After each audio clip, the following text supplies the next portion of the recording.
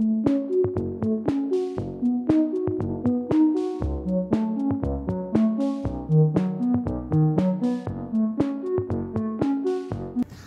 everyone, I am back with this new video and I've requesting, been requesting my dad for like one year to make videos about body parts. We made this hard video but then we stopped.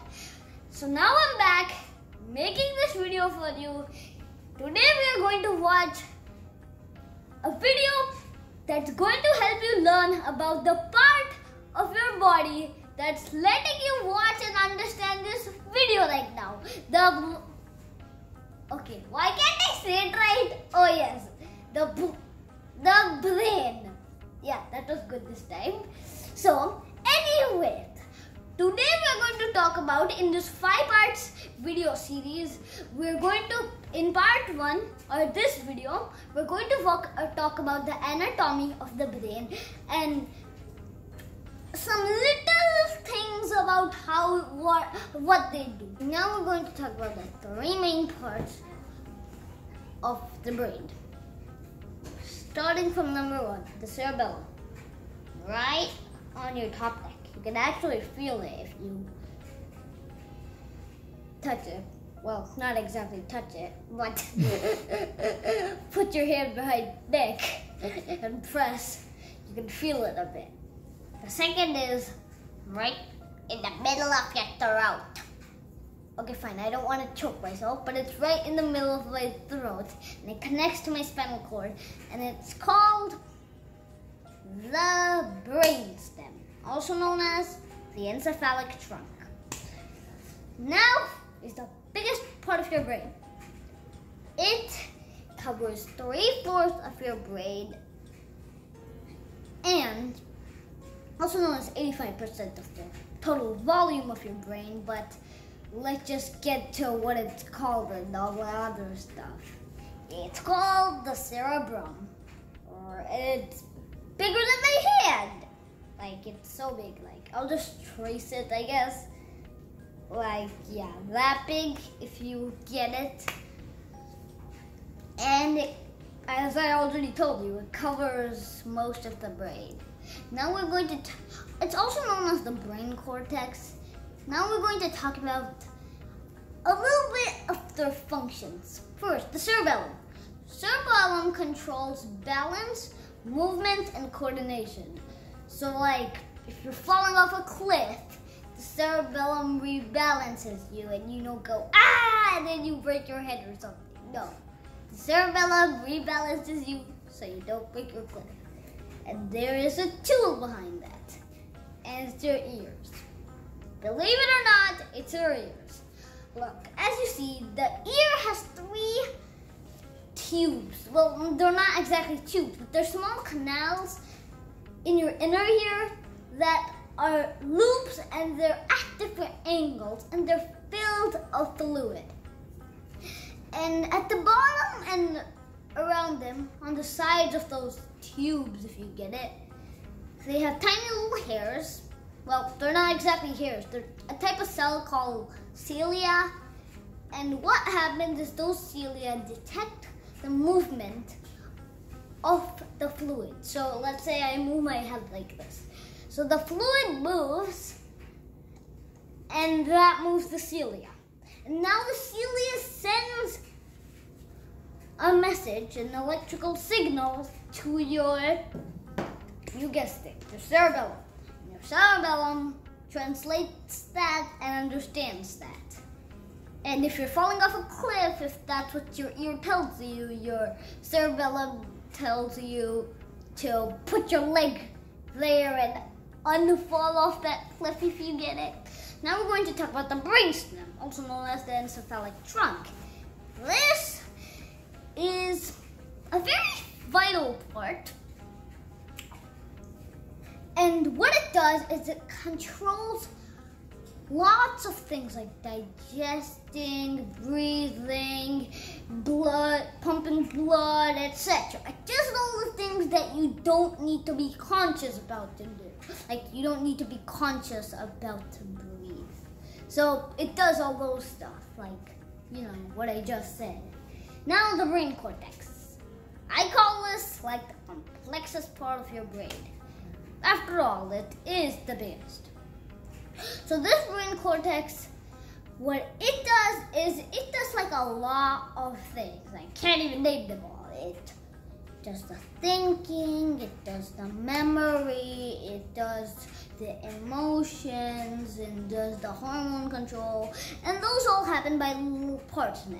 Now we're going to talk about the four major parts of the cerebrum, which are the frontal lobe, and the frontal lobe is mostly contains the prefrontal cortex. And that, my friends, is very complex for one reason. It does all the cognitive thinking and like the decision making. So it does the planning, the emotions, actually a bit of the emotions, not all, but yeah, because it contains the amygdala, which is another part which we're going to talk about in the third episode, which is all about emotions. We're going to do that episode and well, it's the emotion. So you'll learn more about the amygdala there. Now the parietal lobe. The parietal lobe is located right here and it's very embedded in the senses. So it controls almost all of the senses. So now there's the occipital lobe, just located right here. It's right here. It's like just above the cerebellum, like right above the cerebellum. I don't think so you can feel it. To the occipital lobe. That is very like embedded in visual things. In fact, your optic nerve connects directly to it. Now the temporal lobe.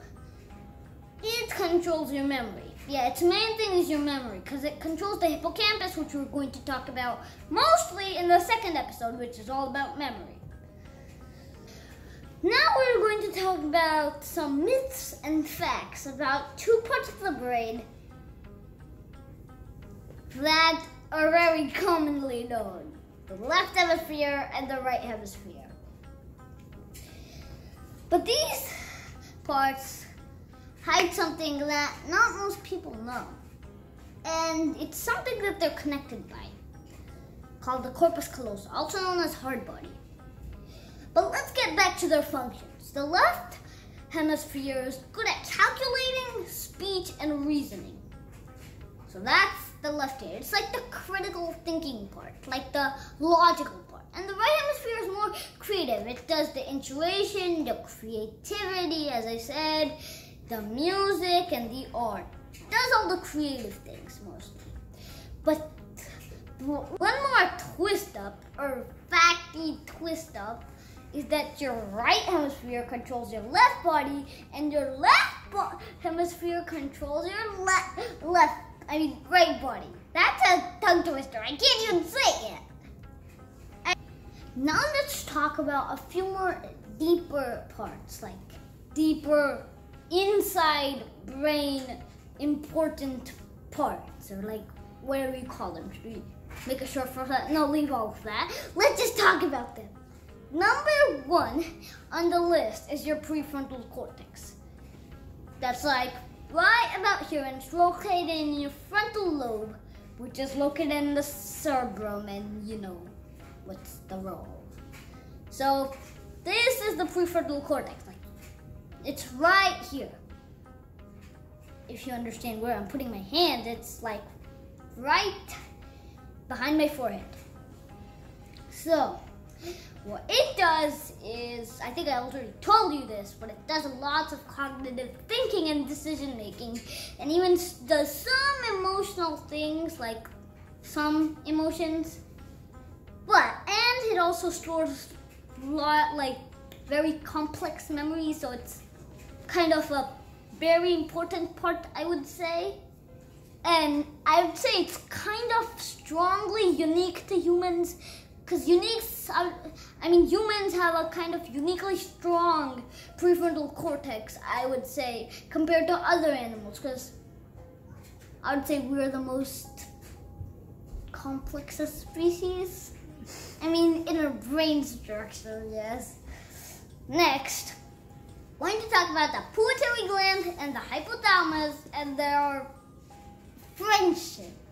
I mean, well, you'll understand that later on or right now in a few minutes. So, what's the friendship between the hypothalamus and the pituitary gland? It's pretty simple. They both are in the hormone business. They're both in the hormone business in your body. They control the hormones. They sell the hormones in your body. They tell your thyroid glands to produce these hormones. They that and they even produce some hormones themselves. Like the pituitary gland, it produces their growth hormone. And some people that have a problem with their pituitary gland, they get they're what you call the giants or the tiny little people. Like I don't know what they're called, but I don't want to make fun of them, but that's what's wrong with them. The pituitary gland is not working right. And the hypothalamus is like the boss of the pituitary gland. It's like the CEO of the hormones company in your body. It tells it what to do, tells it what hormones to produce, and it works with other companies too, or other parts. Now we're going to talk about the amygdala, the emotional center. It doesn't control all the emotions, but it's pretty important. Controls fear and um, yeah, fear, scariness, and mostly all the other emotions. But there's the you know as we talked about prefrontal cortex. It controls some complex emotions. Okay, but the amygdala controls most of the emotions. Okay, and the brain stem. We already talked about that. Now the hippocampus. The hippocampus is the memory part.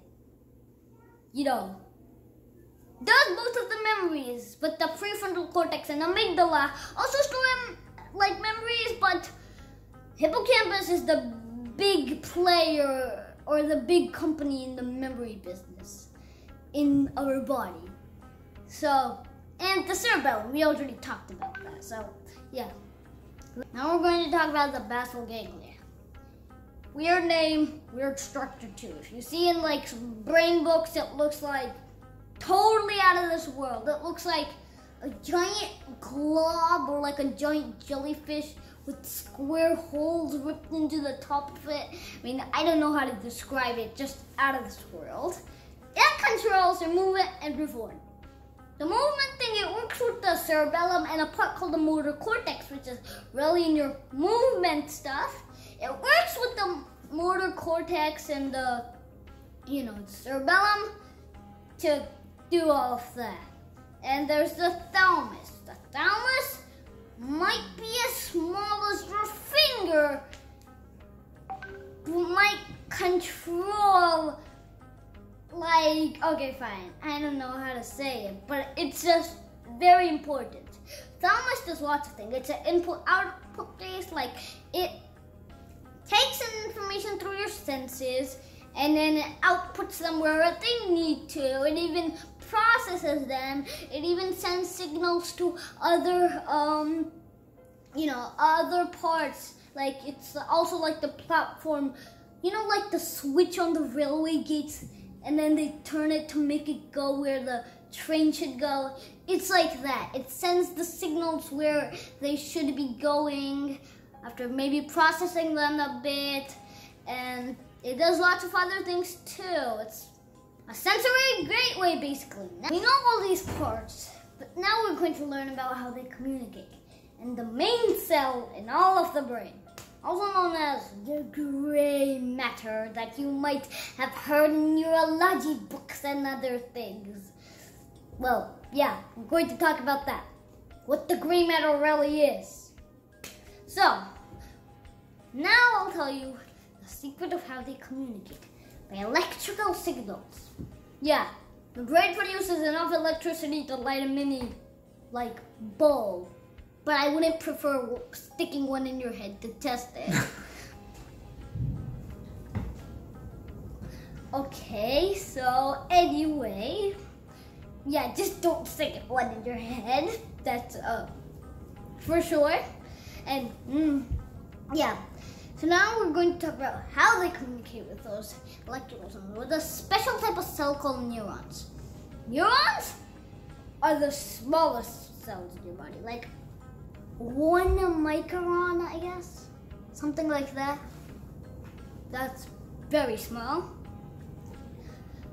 But I mean, yeah, and they communicate by electrical signals. They have two things.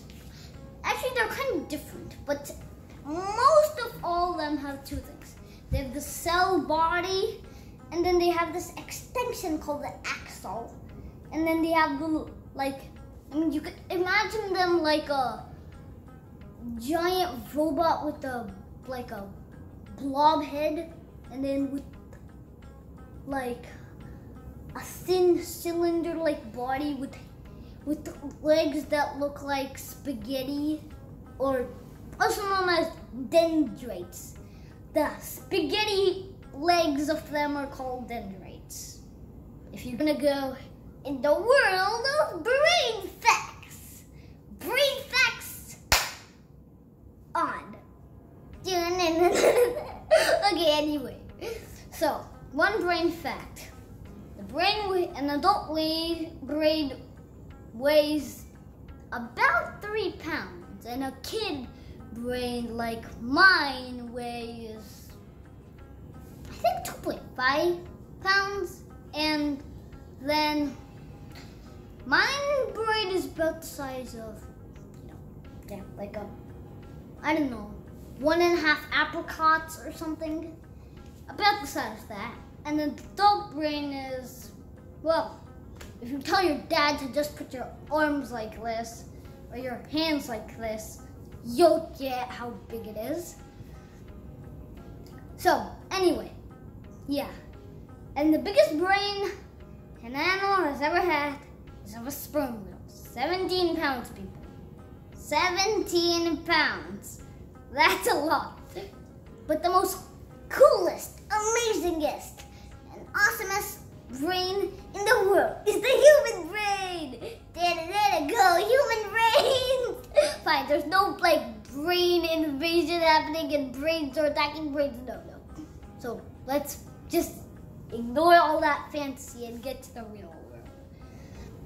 Another fun fact about the brain is that the messages that your the electrical messages that your brain sends cruise along on your nerves more than 260 miles per hour. That is holy cow fast. I know. It's uh, cool, right? Just to get like what 260 mph means, or faster than it, you're talking about the speed of a Boeing 737. That is crazy. I know. And that is all for brain facts. All for this video. Now I'll meet you in part two of the brain. The brain.